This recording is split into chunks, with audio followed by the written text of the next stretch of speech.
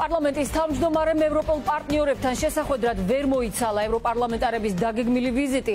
იმის გამო გაუქმდა, რომ შალვა პაპუაშვილმა მათთვის დრო ვერ გამონახა.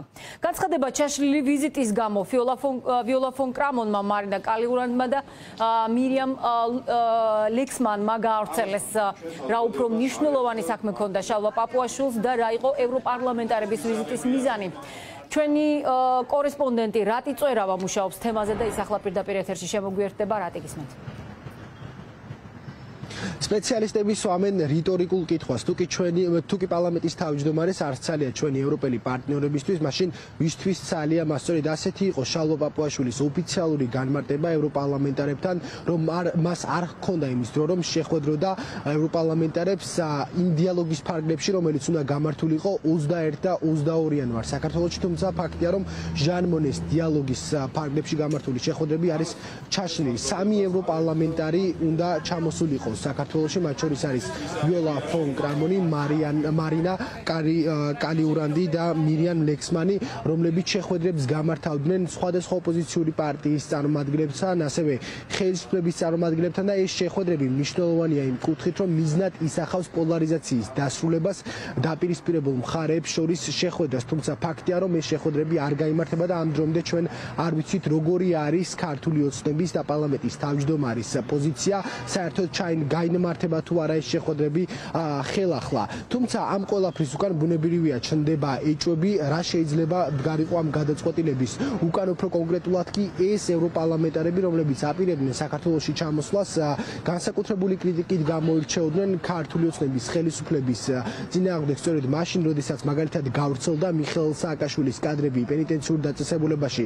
გადაყვანის მაშინ კრიტიკა ისმოდა სწორედ ამ ევროპარლამენტარების მხრიდან, მაგალითად მირიან ლექსმანი იყო ერთ-ერთი ერთ-ერთი ევროპარლამენტარი და ავტორი წერილისა, რომელიც მიიღო საქართველოს მთავრობამ ბრიუსელიდან, ევროპარლამენტარები მაშინ მოითხოვდნენ, რომ გათავისუფლებულიყო მიხეილ სააკაშვილი, მანამ სანამ მას არ ექნებოდა სამართლიანი და თავისუფალი სასამართლოთის სარგებლობის უფლება. სპეციალისტები კი ამობენ, რომ ამ გადაწყვეტილები და შალვა პაპუაშვილის პასუხით კიდევ ერთხელ დასტურდება ის ფაქტი, რომ ქართული ოცნების ხელისუფლებისთვის მნიშვნელოვანი არ არის ევროპა და ქვეყანას ისინი მიაქანებენ საბჭოეთისკენ. ეს უბრალოდ არის პოლიტიკური უმწიფობა და საბაბი იმის რომ თურმე არ ცალია პარლამენტის თავმჯდომარეს რისთვის ცალია მაშინ? შიდა პარტიული საუბრებისთვის ვის რას უმტკიცებთ ამითი რომ არაჩვენებს რომ საქართველოს ჭირდება დასავლეთის მხარდაჭერა?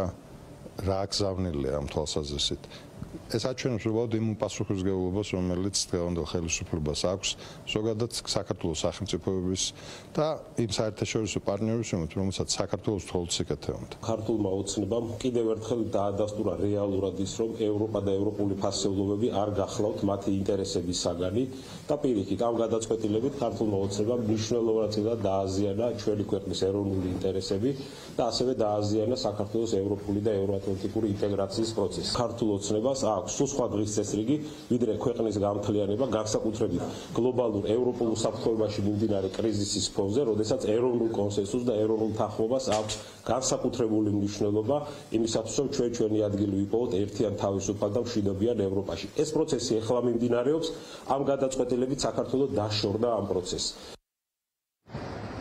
ევროპარლამენტარები იმედს გამოთქვავენ, რომ საქართველოს პარლამენტი ნიადაგს მომზადეს იმისთვის, რომ უახლოეს მომავალში ხელახლა გამართოს ის შეხვედრები, რომელიც ჩაიშალა და შესაბამისად ვეღარ გამართება 21 და 22 იანვარს და უნდა ჩამოსულიყვნენ ბუნებრივია ევროპარლამენტარები.